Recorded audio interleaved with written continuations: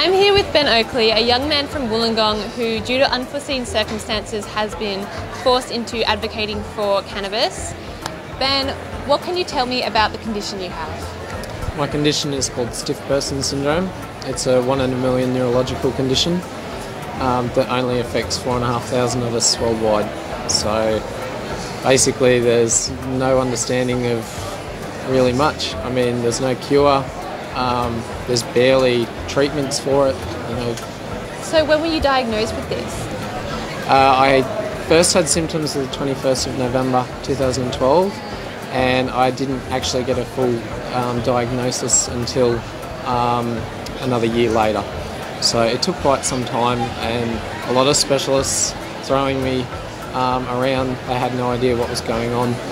So um, there were a lot of theories of what it could have been, and that was quite tough on myself, not knowing what was going on. Mm. And how does stiff person syndrome affect your life? How has your life changed because of it?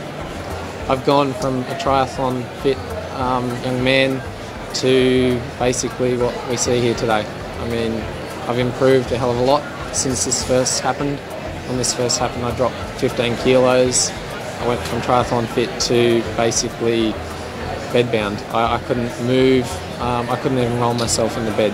So I lost all my independence. Mm. Um, you know, and it's it's really it's been tough.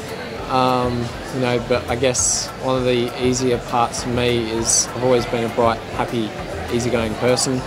I always sort of look at the brighter, positive things of life. So that's really helped um, because I generally just smile and get on with it. Mm. So. so, when you were diagnosed, when you finally got a diagnosis, what sort of treatments or ways of dealing with the condition were you given by doctors? The doctors put me on a treatment of IVIG, which is intravenous immunoglobulin. Uh, I was on that for about a year and a half to two years, and then I started to plateau out.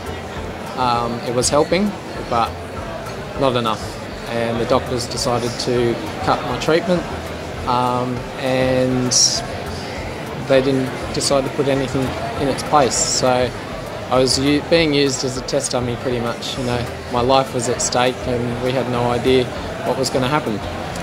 So when that happened to you, did you or your family think about alternative ways you could treat this? We had actually thought of medicinal cannabis prior to. Both my parents are ex-nurses and they'd done a bit of research. Um, they suggested it to me one day, and I turned around and said, "No, I'm not going on an illegal drug. Know, no way." Um, it was very stupid of me. Um, I was quite hesitant to do so, but you know, one day I was just in too much pain. None of the pharmaceutical drugs were helping, and yeah, a simple plant changed it changed it all for me. So, what was it like the first time you used cannabis to treat your condition? The first time I used medicinal cannabis, I actually gave a pain rating to Dad a 3 out of 10. I had not been that low ever in this whole time that I've been like this. You know, my average pain rating was about uh, 6 to 7. You know, to have my pain rating so low as what I did, we knew it was a game changer and we said, well, you know, we're going to continue with this regardless of what the doctors thought because they didn't want me going on it. Mm. But it's been the best thing that's happened to me since. So.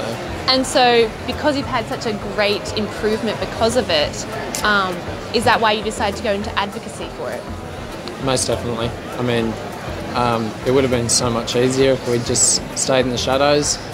Um, I don't like public speaking. I really, I don't like it at all.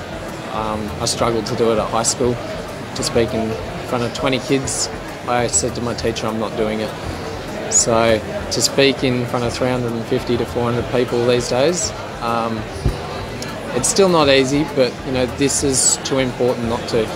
I don't care how much anxiety and stress it gives me and um, how tough it is. It's something that needs to be done, and the only way to conquer your fears is to face them head on. So it's too important not to um, be quiet about it. You know, we have to get out there and be as loud about this as possible because so many people desperately need it.